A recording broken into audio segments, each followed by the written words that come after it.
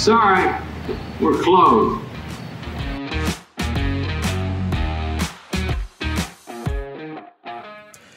Ladies and gentlemen, boys and girls, welcome back. Episode 55 of Sorry We're Closed.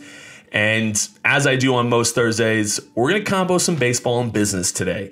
And we will be speaking about none other than the New York Metropolitans. And they gave us a baseball business topic on a silver platter uh, this past week, as everyone has to know by now, unless you've been living under a rock. The Mets GM or former GM Jared Porter uh, sent 63 or something, somewhere in the 60s, um, text messages to a young lady who was a reporter at the time, somewhere I think in, in Chicago when he was with the Cubs, and as well as a dick pic, uh, and all unsolicited. She was not interested. She did not um, come off interested. I don't. There was nothing there uh, where this would have been warranted uh, to to do. Uh, not to mention uh, sending dick pics, even when asked, seems odd to me. But some people apparently send them even when not asked for them. So it's it's a weird story. It's something that probably has been known about within people in the baseball community for quite some time, probably thrown under the rug. And now it has been brought to life now that he has been hired as the general manager of the New York Mets. And well, no longer as we as we've now seen. This kind of ties into this hiring process and what's going on in baseball, uh, and as far as the business end of these things is these types of positions are almost political positions in the sense that you are under so much scrutiny things are going if you've if you've messed up in the past things are going to come out about you people are going to come after you if you've done things that are screwy in the past and these people do, do know maybe wanted to just kind of let it go and get on with their own lives are now thinking that you're not worthy of a position like this and don't want you in that position possibly in this type of case to harm other uh, female reporters or anything like that and are going to come after you and leak stories and get you into a position where you are rightfully belong probably out of baseball. And now baseball executives, you know, owners in particular, Steve Cohen's of the world, have to vet these people tenfold to really have an idea of what is happening. Now, if I'm Steve Cohen. I'm, you know, you want connections over at ESPN. You want connections at these publications, knowing, hey, listen, don't don't hire this guy. This is what's going on with this guy. The, the story is good regardless. Obviously, it adds a little bit more juice to this world. The fact that he was hired as a general manager recently, but and also to a team that has been in the headlines almost feels like every day during the offseason. But by the same token, this story was already probably going to come out uh, and and probably published at some point. Now you now you it's already a stain on Steve Cohen and his hiring process and who he's doing. However, the response to this is huge. And as we all know in the business world, whether it's in politics, whether it's in scandals with your own business, you know, how many scandals does, does Apple have or does Amazon have? I mean, Amazon seems to be have, have been in the in the headlines all pandemic about not paying their employees good or keeping the the environment, the work environment safe and and all of these things and things go away. The way you respond to them is is is quite is quite important to making these things disappear in a, in a timely manner for your business to operate well. Now, how they do it, I don't know. You know, sometimes it's paying the employees more. Sometimes it's making for Amazon making the working conditions a little bit better uh, and keeping your employees happy. Um, sometimes it's other ways. I don't you know I don't know, but Steve Cohen on the other hand's response was was pristine, pristine, which you would expect from such a savvy business guy.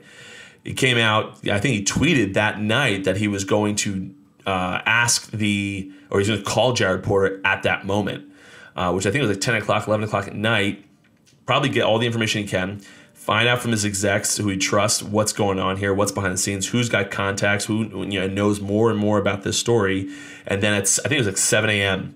Steve had made the announcement that he had been fired and, and let go. Easy decision. Easy decision. The guy doesn't belong in baseball. Um, if you're sending 60, he probably needs help. He needs psychological help if he's doing that. Uh, and it, it was an easy decision, not only from the from the fact that he did horrendous things to this lady, but the, on top of it, you the guy was a meaningless position as a general manager of a team that has a president of the baseball ops, as I've talked about time and time again on baseball podcasts, on this podcast. When you have a director of baseball ops, the guy, the the GM is all right, whatever. Yeah, okay, maybe you control the minor leagues a little bit better. Maybe maybe that's what maybe the baseball ops guy only wants to deal with the major league baseball team. He doesn't want to deal with the minor leagues. Maybe that's maybe you have that role. role. But then your your your job is is really meaningless in the grand scheme of things. So if I'm Steve Cohen, the it's an immediate firing. I want nothing to do with this guy in this story. I want the Mets to be out of this headline as quickly as possible, or at least in the headline now is is ex Mets GM and then you're just coupled in with the Cubs and what any any other teams that he worked with as as teams that have hired this gentleman. But you have to you have to do the immediate firing. Steve Cohen and Steve Cohen did brilliantly. Went out, found some information, made a decision immediately. Impeccably done by Steve Cohen. And now the Mets are back to talking about what things that, that are meaningful and signing free agents. They didn't get George Springer, you know, recently. I'm sure they're upset about that.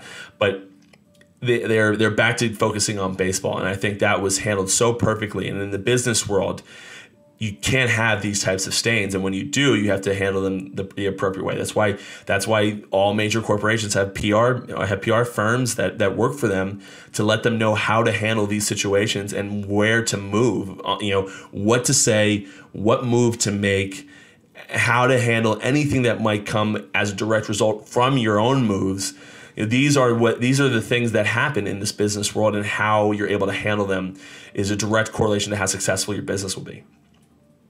I mean, Nike, for example, when you talk about the the the overseas factories in China and how they have, you know, supposedly they had like nets, so people on the windows, so people couldn't commit suicide, uh, or had bars and stuff like that, like some crazy, crazy working conditions, and they're blamed for it for using them. I mean, obviously, it's not them. You know, China or you know whoever, whatever country they may have been, are approving these types of working conditions. They're just hiring the factories. They're just doing work with the factories. It's not really Nike's fault, but most people view that like Nike, Apple, all these companies that do work in these these countries that have are allowing these types of work conditions are partly um, to blame for these types of work conditions because if you didn't do work there, they'd have to change them, right?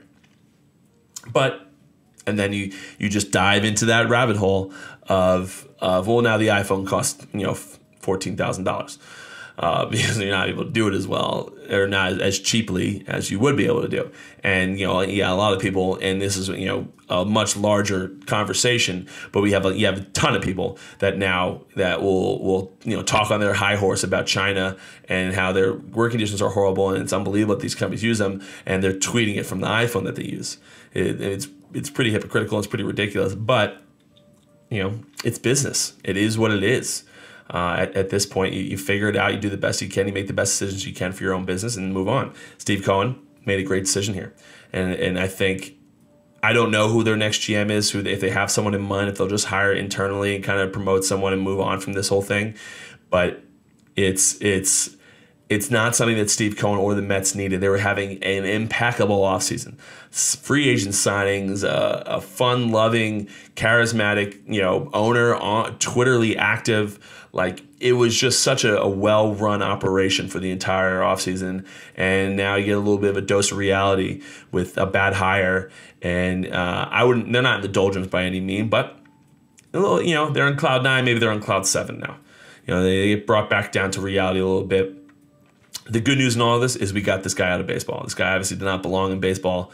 Uh, I don't know why he uh, why this took so long to come out. It, it, seems as though I know Craig Carton and Jeff Passan went at it uh, a little bit on on on the radio yesterday, talking about uh, apparently it happened in 2017. Car- Craig Carton was was uh, was blaming uh, Jeff Passan, saying that why are you sitting this on, sitting on this for, for three years, four years, and now coming out on top of it, he was blaming he was he was accusing Jeff Passan of knowing about this these types of allegations and this type of story being possibly leaked eventually, while also when the hiring process happened, saying that J- Jared Porter had the great had great temperament for um, for the New York media and the New York market.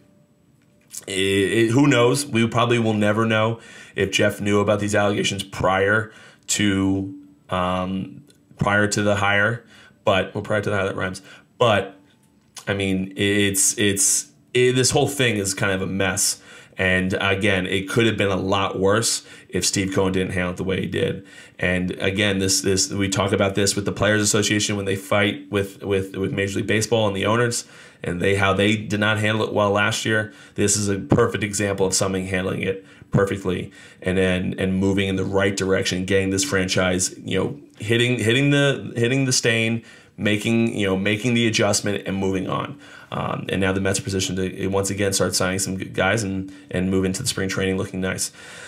Guys, as always, I appreciate you listening. An easy one today, just talking a little bit of PR, a little bit of business, along with some baseball, and how the Mets were able to do such a great job handling this and, and moving in the right direction. I hope you guys uh, enjoyed it. And uh, listen, another episode drops Monday, 5 a.m. As always, uh, have a great weekend, guys. Thank you so much for listening to the Sorry We're Closed podcast. Go subscribe to our email chain over at thepatlight.com and follow us on all social media. Until next time, guys, I'll see you at the bar.